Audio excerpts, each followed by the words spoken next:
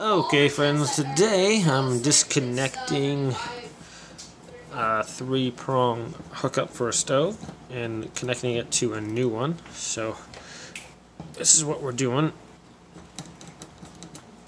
Now, this one has been marked with a little black marker so you know that it's the black for the black cords up here and red on this one for the red cords up here. A little easy way so you can remind yourself. And let's get that other one out of there. Okay. Okay, when you're hooking up a three prong cord to your stove, what you're going to want is it has uh, its own ground. So the grounding bar goes through the neutral here, and that's already connected. If you're using a four prong, um, four wire connector, it's going to have its own ground, and you won't use that grounding bar through the neutral. Alright, so this is the old stove. Uh, power surge took it out pretty nicely. And let's go hook it up to the new one, shall we? So, going over the new stove here. There we go. We're basically just gonna repeat in a different order. So make sure, okay, red here, red there. We're gonna go up through the bottom here.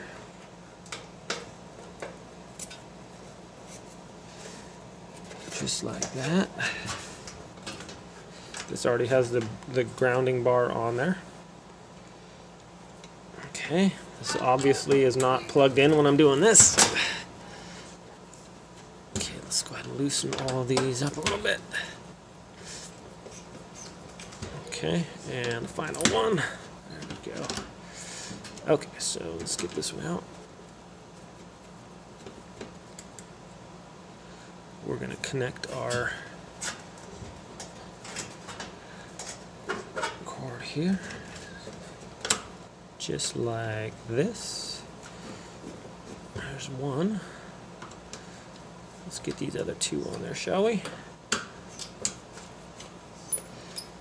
It's nice to have a nice magnetized screwdriver so when you pull that out it doesn't fall down get lost. So there's our neutral Let's get the other one here real quick. Quick and easy. Put that one in.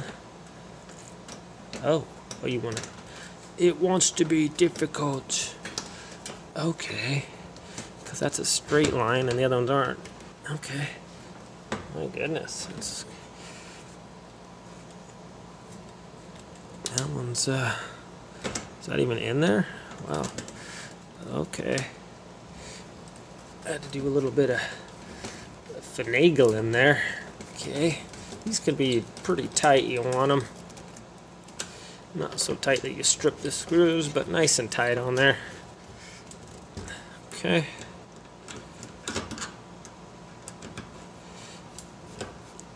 And there we have it, my friends.